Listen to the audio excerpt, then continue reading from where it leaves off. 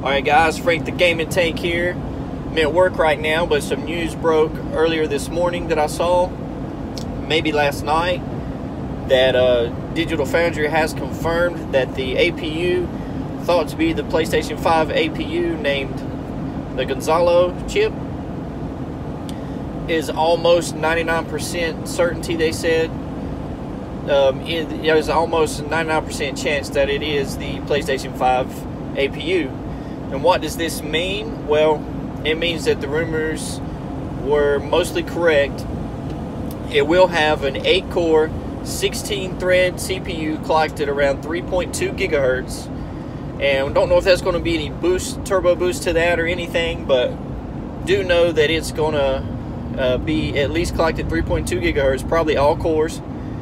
And so we don't know if there's a boost frequency to that or not, or if it's always going to be 3.2 a lot of times in consoles they tend to just set a high bar for the frequency and keep that and you can run at lower clocks if you want but um, they have a threshold so they don't get too hot.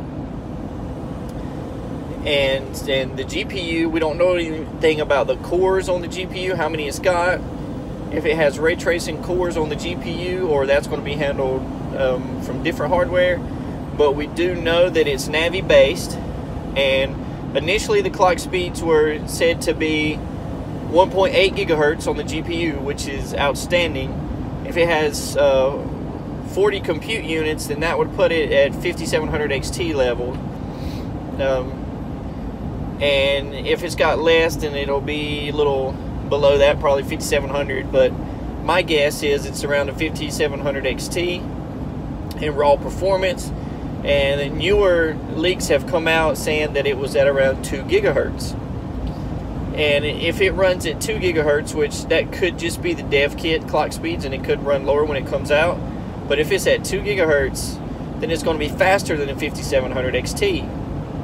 And uh, what does this mean? Well, that's faster than a GTX 1080, which was originally rumored with the one of the first Gonzalo leaks.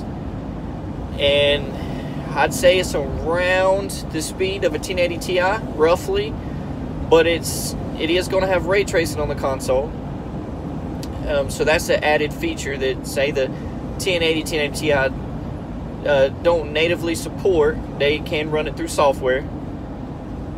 So you're looking at a console that's going to be, I'm just going to say roughly around a 1080 Ti in power level. Not quite that fast, but pretty close. Consider it's a faster than a 1080 and so let's say maybe around 2070 super performance maybe a little less. And we just don't know. And with it being in the console it could be a little faster than a 2070 super or right at it just because the console ecosystem it's uh, lower level access so you get more performance out of the parts. And so far that's all we know and it's not 100% fact. They just said 99%, but it's pretty pretty much confirmed for the most part. Still don't know how much RAM or anything else or how the ray tracing is handled on the system or not. It is rumored that the Xbox Scarlett has better ray tracing capabilities. And uh, that's one reason I think it's going to be more expensive than the PlayStation 5. I think it's just going to have a bigger chip on it, which is going to be more expensive to manufacture and it's going to have a few more features maybe, but they're going to be pretty close. Probably the same CPU, almost identical, just like this past generation. The GPU and the RAM and SSDs, um, how those are implemented is probably going to be the biggest difference, and how the ray tracing is implemented is going to be the biggest difference. So we'll have to wait and see on that. We don't have any concrete information about the Scarlett yet, except for what Microsoft has said, so no concrete details on any of the hardware specifications, but a lot of people are hoping that at XO19 next month that they are going to have some more information come out. Um, it's not a it's not a given, not facts. Just people are hoping, and there's a few rumors pointing that they might let a little slip there, but I don't think they're going to have any technical specifications. They may just come out and say some of the same stuff Sony has not any hard uh, facts about the hardware, just that maybe it's a 16 thread CPU, it's this GPU, and, or in, but they're not going to say how many cores or the clock speeds or anything like that just yet.